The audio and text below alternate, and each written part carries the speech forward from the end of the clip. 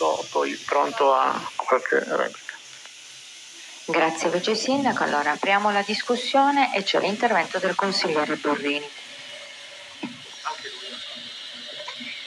Presidente, grazie. Ringrazio innanzitutto i colleghi della Lega che hanno presentato questa interpellanza, l'ennesima negli ultimi eh, quattro anni di amministrazione Piastra. Ci siamo trovati tante volte a discutere di eh, documenti simili insieme anche ad altri colleghi della minoranza. Ringrazio anche eh, l'intervento del eh, vice sindaco Perino.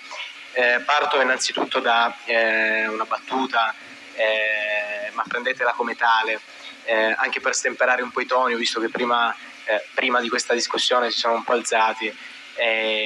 lo dico senza nessun rimorso, ma anzi con grande convinzione ho visto eh, che eh, dall'altra parte qualcuno è rientrato nel gruppo di appartenenza e altri ancora, io vi confesso che anche dopo questa risposta eh, rimarrò convintamente da questa parte, come in questi ultimi eh, quattro anni precedenti. Non so se eh, in questo frangente ci fossero dei dubbi, in caso eh, spero di averli tolti.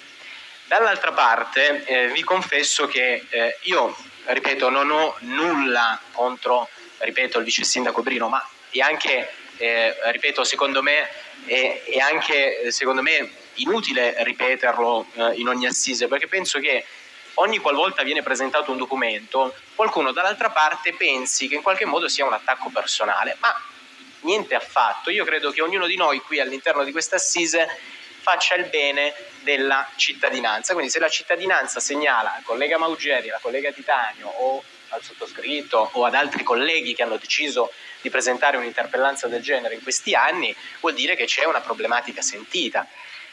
Mi riferisco anche in modo particolare ai dati che sono stati citati.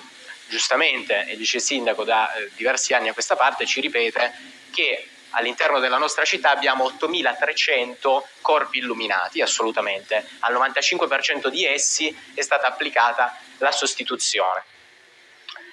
Dall'altra parte però mi chiedo, e siccome sono stati citati eh, dei numeri, ehm, sono in programma, non ho capito se da qui alla fine dell'anno, ehm, perché eh, secondo me la comunicazione è stata incerta, eh, 80 pali si stanno per sostituire. La mia domanda è, Innanzitutto sono sempre in attesa di questo cronoprogramma, non solo per l'illuminazione pubblica, ma anche per il puntuale taglio del verde.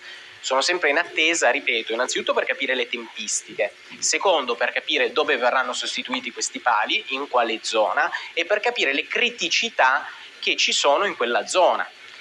Perché se in determinate aree della nostra città, al di là che eh, ci siano atti vandalici che sono il primo a dire e siamo i primi a dire che vanno condannati senza se senza ma e nessuno, ripeto, sta qui a criticare, anzi lodiamo il lavoro fatto dalle nostre forze dell'ordine all'interno del nostro territorio, dall'altra parte però, vice sindaco mi permetta, secondo me ci sono delle cose che non vanno. Se fino a qualche tempo fa, quando discutevamo le interpellanze, si diceva che quando piove si ripresenta la stessa problematica de, eh, in via Fantina in tante altre vie che sono state citate e quando piove quella determinata via e quelle circostanti rimangono sempre al buio e oggi mi sento dire che non solo andiamo ad aggiungere eh, le intemperie, oggi andiamo ad aggiungere anche il grande caldo.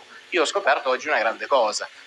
Dal, dall'altra parte, è un'altra situazione che a me ha lasciato abbastanza perplesso, è il fatto che eh, innanzitutto capire il cronoprogramma, cioè se da qui alla fine dell'anno sì che sono stati stanziati 180 mila euro per la sostituzione di questi pali, vorrei capire se questa è la sede per poterlo chiedere in aggiunta alle domande fatte dal collega per capire dove verranno eh, sostituiti e per capire come mai, e già è una provocazione, ripeto, non prendetela male perché poi non vorrei che vi offendiate, se già all'inizio del mandato e già con la giunta precedente, ricordo io ero come tanti altri colleghi fuori dal consiglio comunale, se con il sindaco Puppo si presentavano le stesse problematiche e oggi, a distanza di quattro anni dall'insediamento del sindaco Piastra, si ripresentano sempre le stesse, possono cambiare i volti, possono cambiare i ruoli, gli assessorati, ma secondo me la tematica è sempre la stessa. In questi quattro anni e in questi e negli altri cinque passati, purtroppo sotto questo punto di vista non siete riusciti a risolvere una problematica che ormai è evidente ed è sotto gli occhi di tutti. Con questo mi taccio. Grazie Presidente.